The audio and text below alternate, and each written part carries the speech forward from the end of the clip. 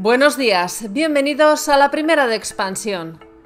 Soy Amayor Maichea. Hoy es viernes 8 de julio y les vamos a contar qué empresas españolas son las más expuestas al mercado británico que se ha sumido en la incertidumbre política tras la dimisión de Boris Johnson. Les hablamos también de la multa récord que ha impuesto la CNMC a las seis mayores constructoras españolas y les vamos a explicar por qué tipo de valores deberían apostar para obtener rentabilidad en tiempos de recesión. Arrancamos este viernes con el protagonista indiscutible de la semana. Boris Johnson, el primer ministro británico, anunció ayer su dimisión tras varios días de intensa presión por parte de los suyos. La incertidumbre planea ahora sobre la política británica y ello podría afectar a las compañías españolas que tienen una fuerte presencia en el mercado de Reino Unido. Son, por ejemplo, Telefónica, Santander, Inditex, Siemens Gamesa o Global Vía. Las empresas españolas tienen en estos momentos inversiones comprometidas en el país por valor de 74.280 millones de euros. Reino Unido supone el 16% del stock inversor de España en el exterior. El Brexit y la pandemia han hecho mella en esas inversiones, que se han reducido de forma significativa desde 2015. Ese año tocaron máximos con 81.230 millones de euros. Las seis mayores constructoras cotizadas de España deberán pagar de forma conjunta una multa de 203 millones de euros por alterar el funcionamiento del mercado de obra pública de forma continuada desde 1992 hasta 2017.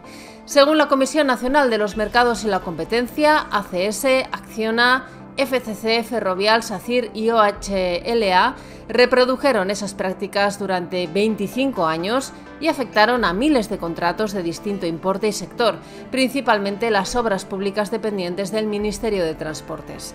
Las compañías han anunciado que van a recurrir la sanción ante la Audiencia Nacional. Y en estos momentos de incertidumbre y pesimismo de cara a la evolución de la economía en los próximos meses, en expansión.com les estamos contando qué estrategia seguir a la hora de construir una cartera de valores que resista a una posible recesión. Los analistas de la multinacional israelí de inversión, eToro, han elegido los 15 valores más representativos de Estados Unidos que han superado con éxito las recesiones de 2008 y 2020. Se trata de valores no solo defensivos, sino que ofrecen la posibilidad de obtener rentabilidad. Algunos de esos valores son, por ejemplo, Walmart, McDonald's, Hasbro o la farmacéutica Abbott.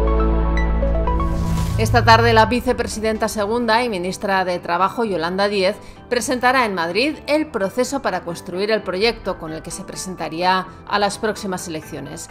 Lo hará con un acto en el que no ha invitado a los líderes de los partidos de izquierda, sí a los sindicales, aunque no irán para que todo el protagonismo lo tenga la ciudadanía.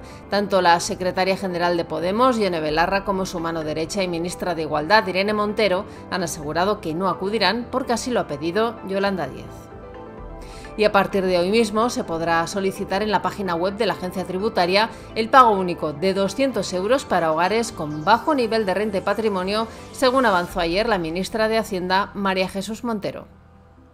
Y en la bolsa ayer se vivió una jornada de rebote. El IBEX 35 subió un 2,19% y recuperó el nivel de los 8.100 puntos, animada por el avance de las plazas europeas y de Wall Street.